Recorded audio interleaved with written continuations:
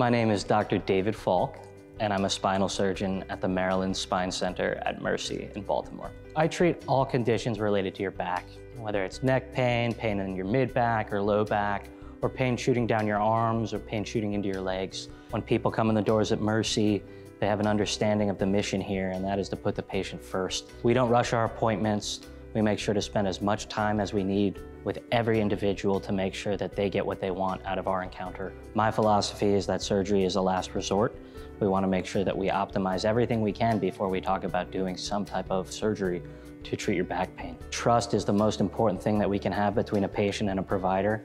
I think that that really comes with the provider spending significant time with the patient, learning not just about what brought them into the office that day, but learning about what they do outside of the clinical setting, whether that's their job, their family.